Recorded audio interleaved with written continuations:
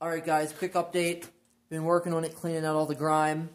See, I got it pretty good. About 30 minutes of cleaning. A little longer probably. Got all the junk cleaned out of it. Got the case here cut down and ground to the, profile of the case saver. Got it pretty clean.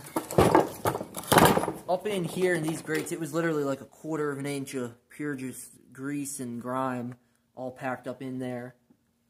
Now I've got pull the clutch cover off, get that ready to be painted. Already got the screws out of that. Got the reeds off, got the boost bottle off. And just time to clean up side covers.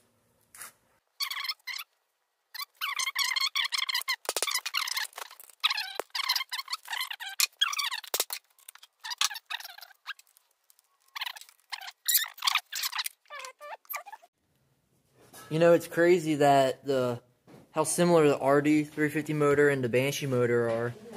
Like that's the RD, that's a I believe it's early 1970s, and this one is a 98, I believe. I'd say it's mid 1970s. Mid 1970s, either way, over 25 years old. And I mean, really the only difference is where the liquid cooled is, and there's a gear for the water pump. Other than that, there's not much difference. Like um, side cover even fits on it. This table of parts right here brings me more joy, and I'm sure anyone who's into this kind of stuff will agree with me.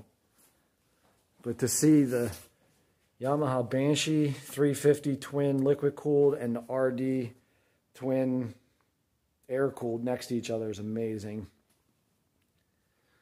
And then the pipes, you can see the difference here. The Banshee pipes are pretty gnarly, and the RD pipes are cool in their own right. And here's a couple different projects here that are about to be wrapped up. Got this RD gas tank. It kind of breaks my heart that this gas tank's perfect and I have to sand it down and paint it to change the color, but whatever.